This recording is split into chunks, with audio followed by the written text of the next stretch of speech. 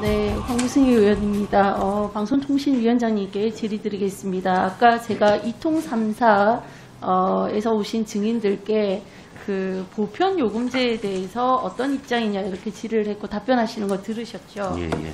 어, 지금 현재 보편 요금제에 대한 추진이 어떻게 되는지 혹시 알고 계십니까? 그 요금제 문제는 저희들 이- 그 과기정통부 이 네. 소관 업무이기 때문에 면밀히 파악하지 못했습니다. 그 네, 뭐 부분은. 직접적이시진 않지만 이제 우리 단말기 유통과 또 통신비에 대해서 어, 방통위에서도 전혀 관계가 없는 것이 아니기 때문에 어, 제가 질의를 드리겠습니다. PT 봐주시기 바랍니다. 어, 사실 이제 국민의 어떤 그 통신비 경감을 위해서 우리 위원회 선배 의원님들께서도 그동안 많은 노력을 또 하셨고요. 어, 또 그 성과로 어, 이 통사에서도 나름 이제 협조를 하겠다라는 말씀을 오늘도 하셨습니다. PT 보여주십시오. 네. 어, 이 보편 요금제가 과연 실효성이 있는가 하는 문제에 대해서 저는 한번 고려해 볼 필요가 있다는 생각이 들고요. 이통 3사 LTE 가입자 추이를 보면 어, 지금 상대적으로 알뜰, 알뜰폰 LTE 가입자 수- 추이가 어, 늘어나고 있는 것을 아마 보실 수 있을 것입니다. 선택 약정 할인율이 또 20%에서 25%로 증가했고 자급제 휴대폰이 또 이렇게 증가하면서 나타나는 현상인 것 같습니다. 네, 다음.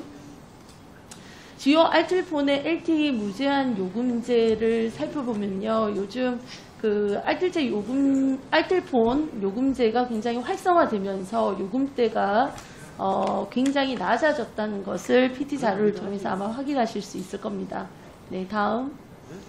네, SK와 리브로, 리브 모바일 LTE 무제한 요금제를 살펴보면 각종 이제 카드 혜택이라든지 할인 혜택들을 통해서 어, 리브로 모바일 알뜰폰 사용 시 실제 어, 요금이 0원으로 청구되는 경우도 발생합니다.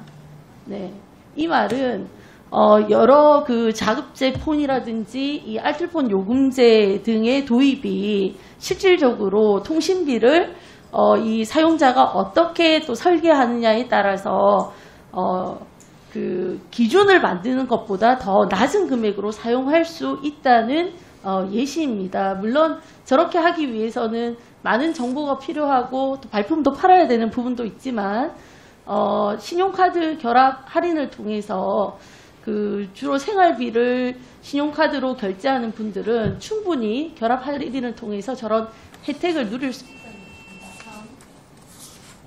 네, 이게 2003차에서 이제 최하의